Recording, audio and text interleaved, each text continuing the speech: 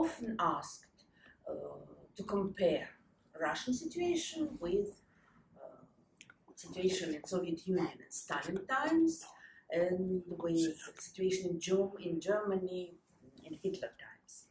Uh, I can say that I'm not in favor of such comparisons. Uh, they always seem a little bit artificial to me.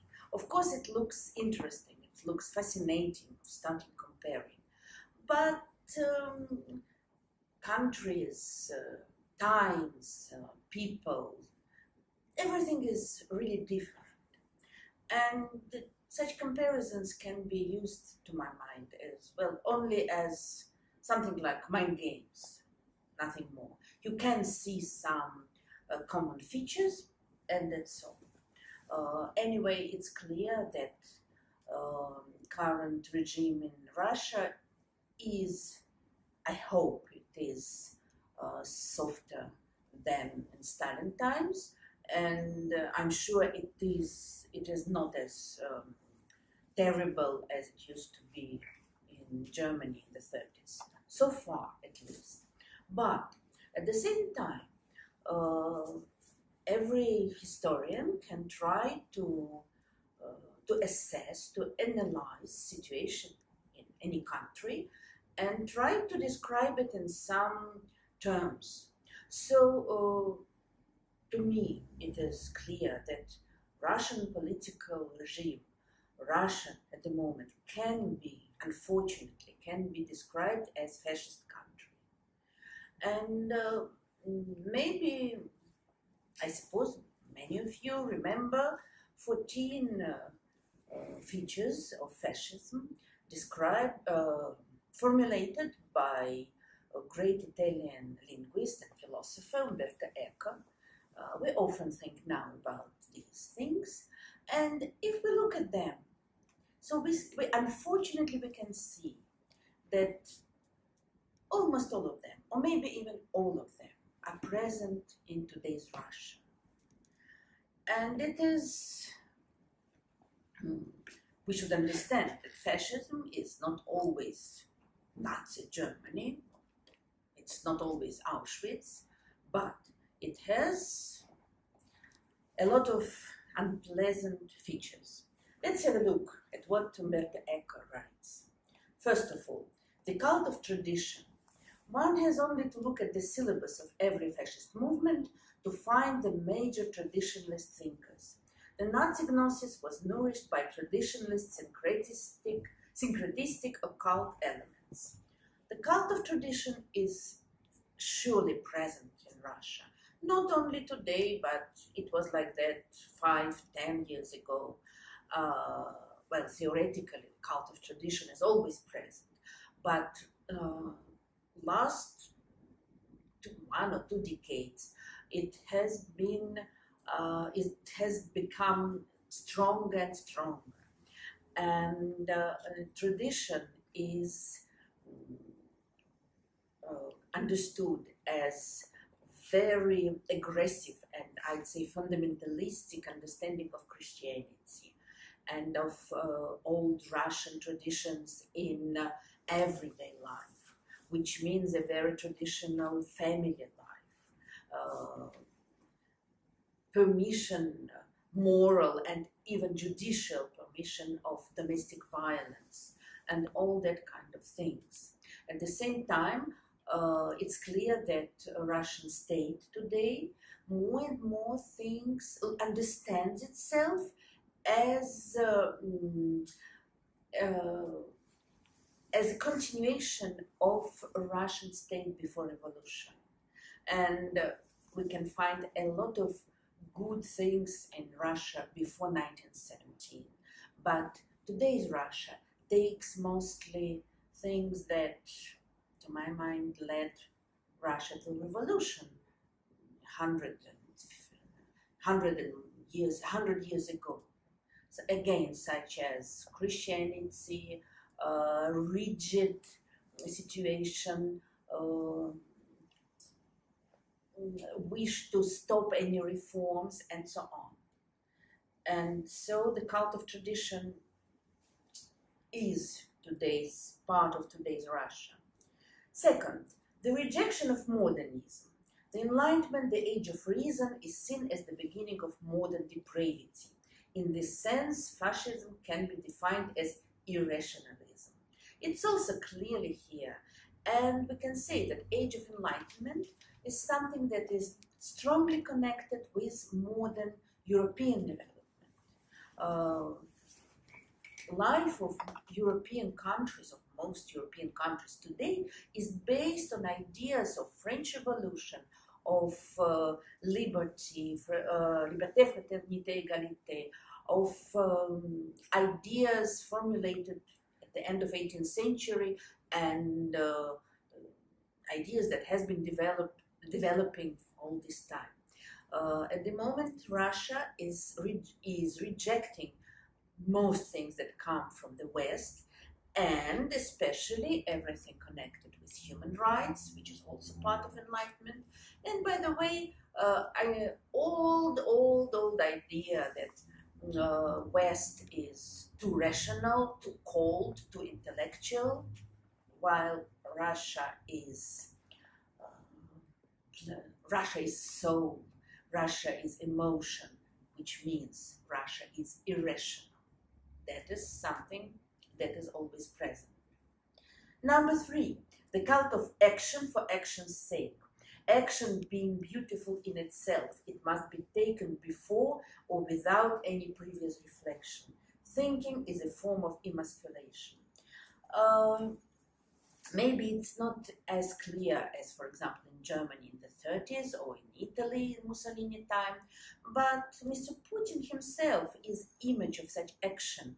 He, uh, at least he tried before the war. At the moment we see, we can see him very rarely, but before the war, before the COVID, uh, he always presented himself as a very strong person, uh, person a very physically strong person, somebody who, who can ride a horse, who, who can uh, fly a paraplane, who can swim, who can fight, and so on.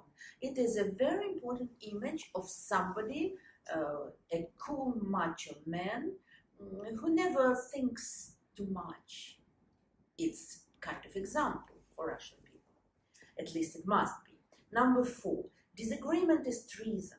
The critical spirit makes distinctions, and to distinguish, and to distinguish is a sign of modernism. In modern culture, the scientific community praises disagreement as a way, as a way to improve knowledge. And in Russia, of course, disagreement is treason.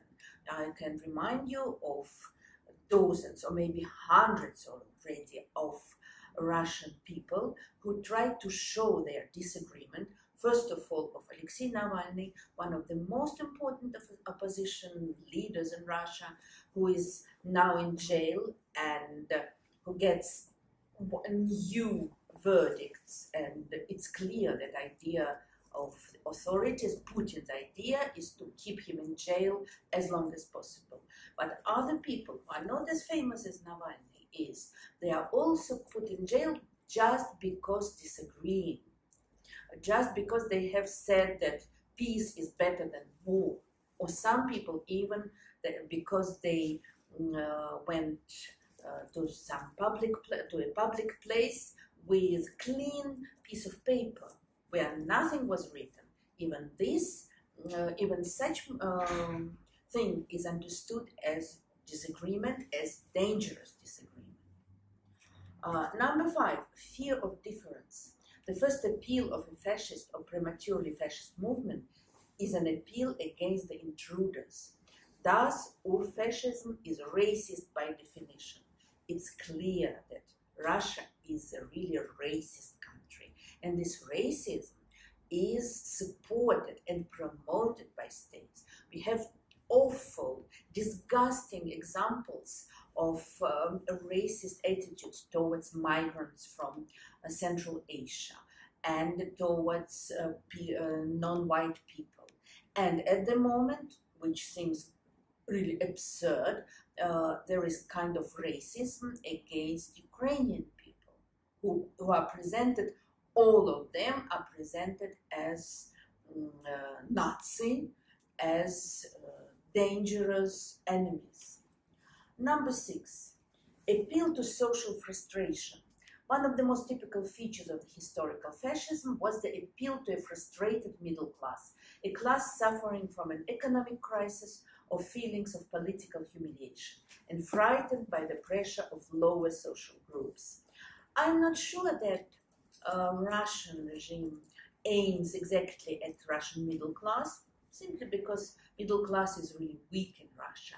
But of course, Putin, from the beginning of his rule, he has played with this feeling of social frustration that millions of Russian people unfortunately felt in the 90s after the collapse of after collapse of Soviet Union, when they felt um, humiliated by uh, grew, uh, by uh, bad economic situation, which left many people uh, who used to feel them, themselves quite well in Soviet time, at least um, quite normal in Soviet times, then lost their positions, lost their jobs, lost their uh, self-respect, and also lost their big Soviet empire. They felt very much um, associated with.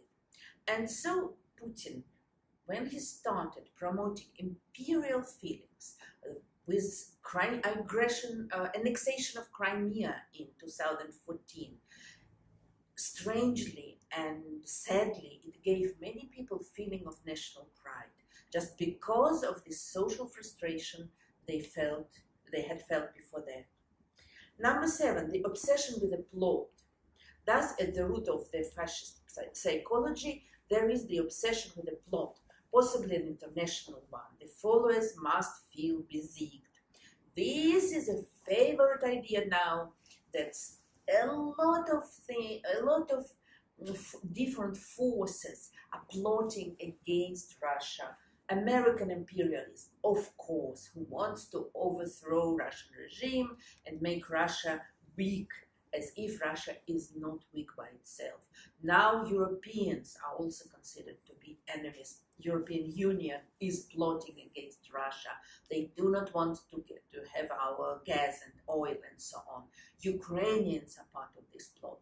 And Russian opposition is seen as people connected with these uh, terrible enemies. Uh, the eight, the enemy is both strong and weak. By a continuous shifting of rhetorical focus, the enemies are at the same time too strong and too weak.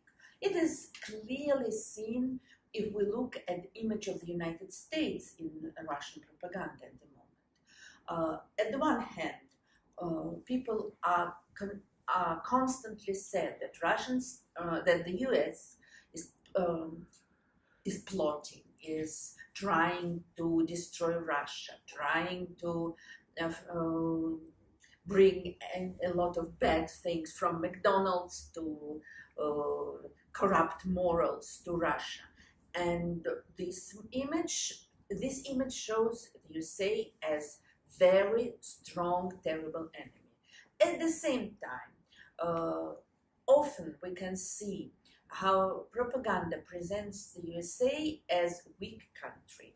Uh, political people who think themselves political experts explain that the USA will soon fail, that uh, American economy is weak, American political situation is too turbulent, and the USA, at the one hand, is a terrible enemy, at the one and the other hand, it is quickly going to its fall.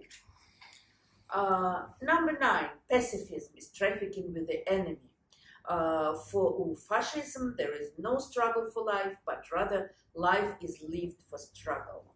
That's something that is happening, unfortunately, at the moment in Russia, when uh, you, you cannot even call things happening in Ukraine war.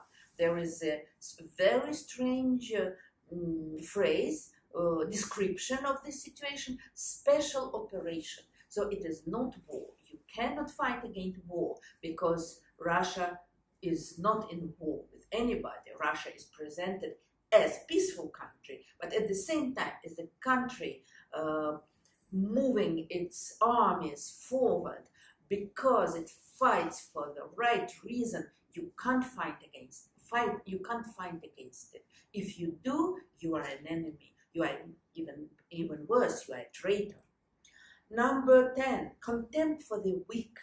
Elitism is a typical aspect of any reactionary ideology. Weak people uh, weakness of any kind is considered to be something shameful in Russia. You should think of uh, thousands and thousands of disabled people who do, um, who get uh, very small uh, help from the state, and which is maybe even worse, um, disabled people, uh, children with um, uh, physical or mental problems are continuously uh, laughed at and uh, sometimes persecuted in schools and uh, left in isolation, uh, as well as elderly as well as um, well anybody who is not a real strong man who can beat, just physically beat anybody. You are nobody, or almost nobody. Uh, and 11. Everybody is educated to become a hero. In, in fascist ideology, heroism is the norm. This cult of heroism is strictly linked with the cult of death.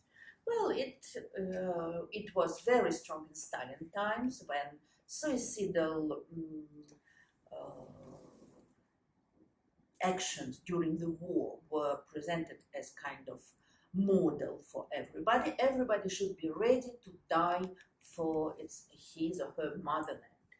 And now, when this unnamed war is going on, people are also supposed to fight for it, and at least, I mean, uh, there are people who say it.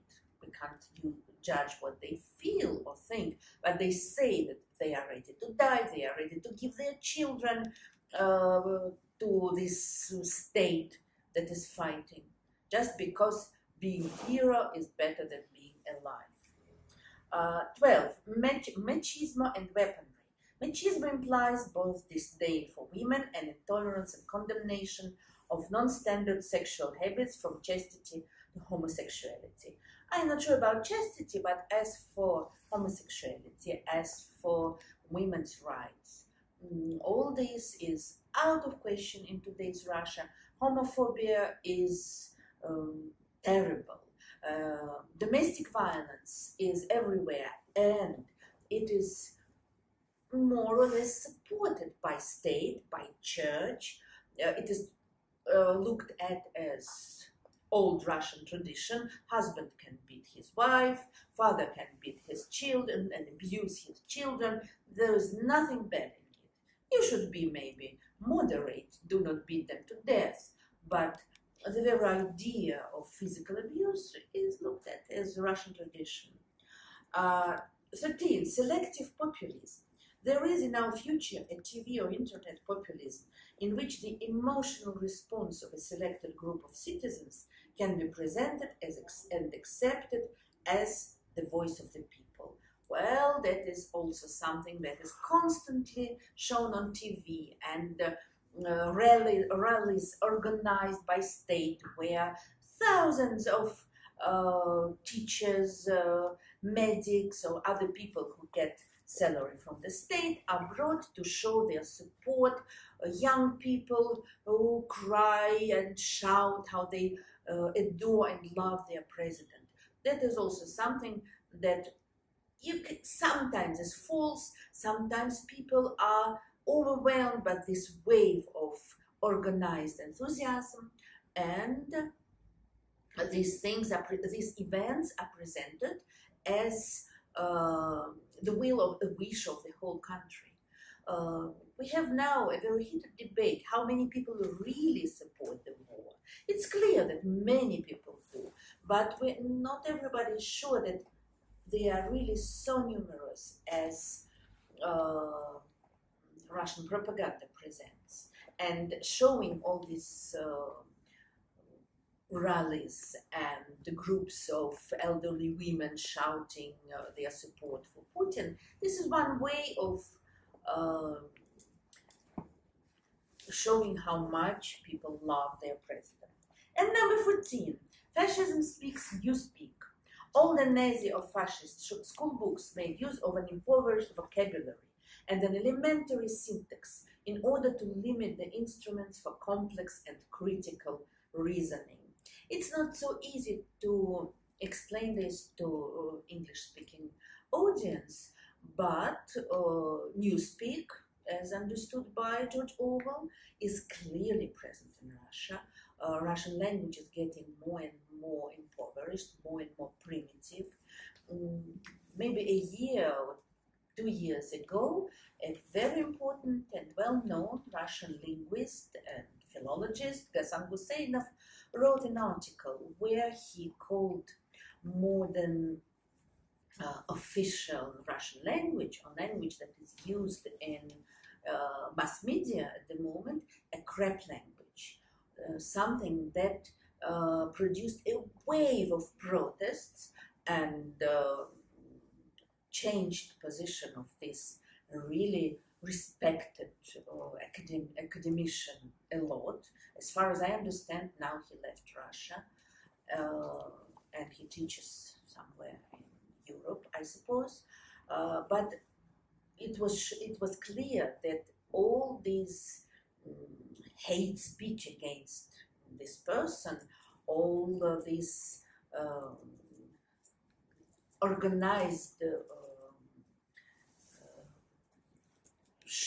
organized uh, protests against his ideas were inspired by state because state recognized the truth of this accusation.